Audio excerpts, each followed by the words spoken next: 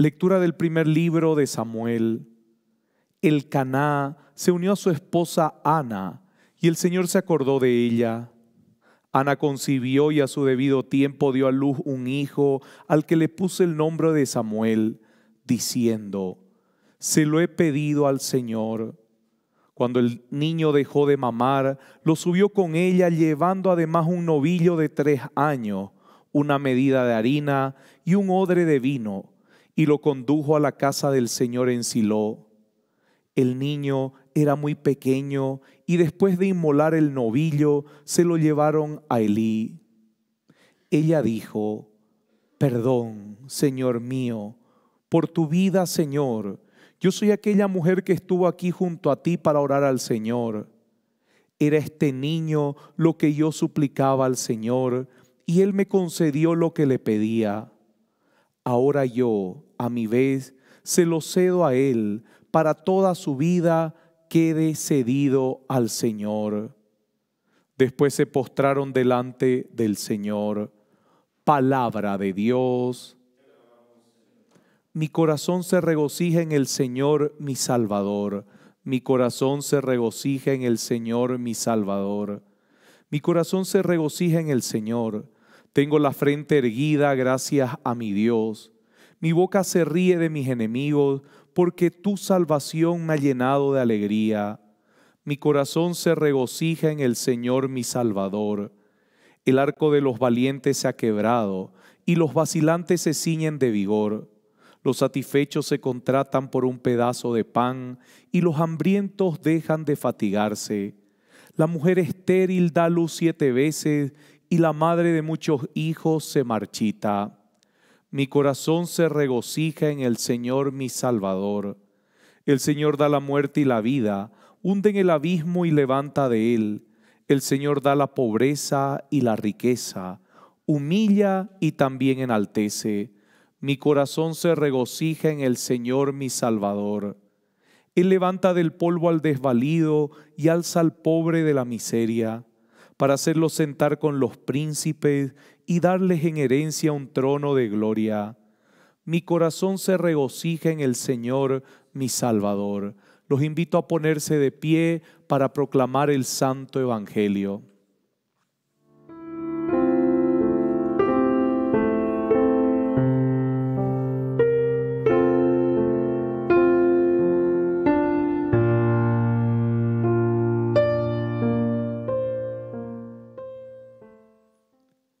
El Señor esté con ustedes. Lectura del Santo Evangelio de nuestro Señor Jesucristo según San Lucas. María dijo, mi alma canta la grandeza del Señor y mi espíritu se estremece de gozo en Dios mi Salvador, porque Él miró con bondad la pequeñez de su servidora en adelante todas las generaciones me llamarán feliz, porque el Todopoderoso ha hecho en mí grandes cosas. Su nombre es santo. Su misericordia se extiende de generación en generación sobre aquellos que lo temen. Desplegó la fuerza de su brazo, dispersó a los soberbios de corazón, derribó a los poderosos de su trono y elevó a los humildes colmó de bienes a los hambrientos y despidió a los ricos con las manos vacías. Socorrió Israel su servidor, acordándose de su misericordia, como lo había prometido a nuestros padres en favor de Abraham y su descendencia para siempre. Palabra del Señor. Los invito a que puedan sentarse. Queridos hermanos, hoy tenemos este cántico de María llamado el Magnificat, porque ve la grandeza del Señor, exalta la grandeza del Señor. ¿Y cómo no exaltar la grandeza del Señor cuando Él se manifiesta de maneras que nosotros no podemos comprender?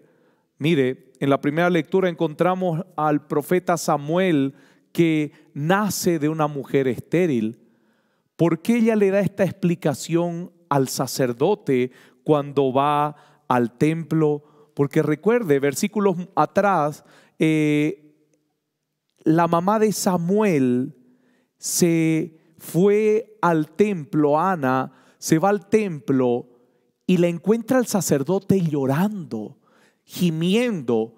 Y el sacerdote vio algo raro porque no era muy común no era muy común, ella estaba gimiendo al Señor pidiendo este milagro, porque recuerde que el no tener hijos era una maldición para el pueblo judío, así que ella estaba gimiendo y clamando por poder ser madre, tener la bendición de la maternidad. Mire, nosotros en la Biblia encontramos muchas veces a mujeres que claman por ser madre, que claman por la maternidad en situaciones que ahora mucha gente al revés está clamando por negar la maternidad, por negar la vida, por negar las grandezas de Dios en el vientre de una mujer. Y uno se pregunta, ¿qué es lo que sucede? La gente ha olvidado el conocimiento de la palabra del Señor, ha olvidado la profundidad de la palabra del Señor, ha olvidado la historia de salvación, pero también la humanidad está olvidando su propia historia. Sin poner a Dios y la historia de salvación, la humanidad está olvidando su propia historia.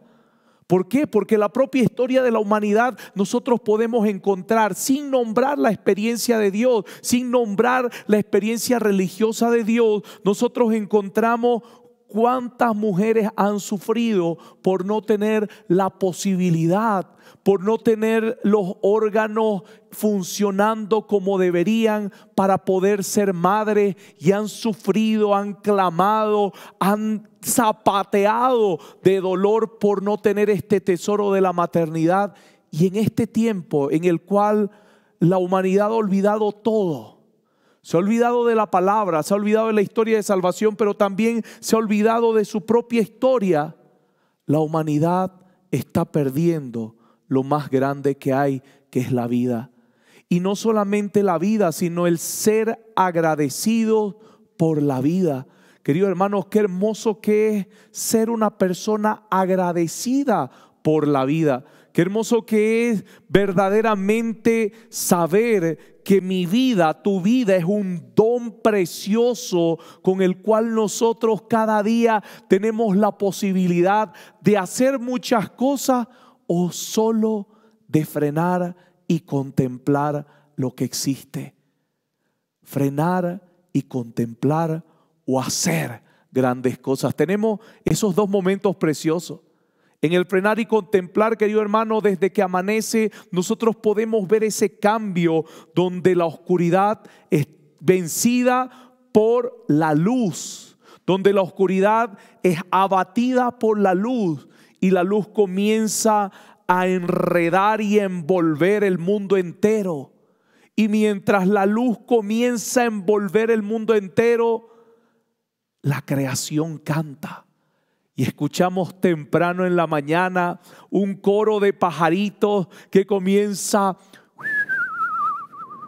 a entonar a entonar el gozo de que hay día, de que la noche se acaba, de que ya amanece y que hay la oportunidad de hacer. Mire, la creación mientras nosotros contemplamos está haciendo. Cuando nosotros estamos haciendo, querido hermano, la creación también contempla nuestras obras. Bendito sea el Señor cuando uno entiende que no desprecia el don de la vida, sino que agradece este don de la vida, lo aprovecha este don de la vida, lo experimenta cada segundo, late el corazón y uno lo siente y uno siente como la sangre bombea por cada parte, se renueva cada célula y todo este sistema creado solamente por Dios, porque el hombre no tiene la capacidad de crear estos cuerpos con tanta perfección.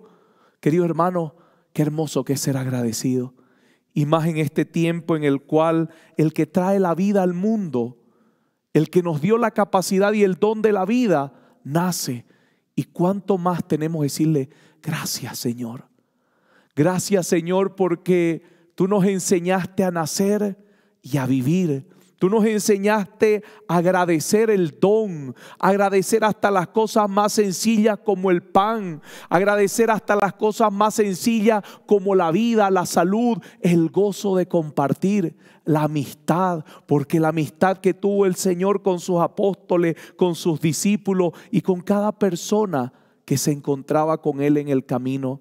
Qué hermoso que es el don de la vida cuando nosotros aprendemos a ser agradecidos Qué bello es el don de la vida cuando nosotros aprendemos a contemplarlo y decir gracias Señor, porque conozco tantas cosas de este mundo, pero cada vez me impresionan más y nuevamente y me falta todavía mucho por conocer.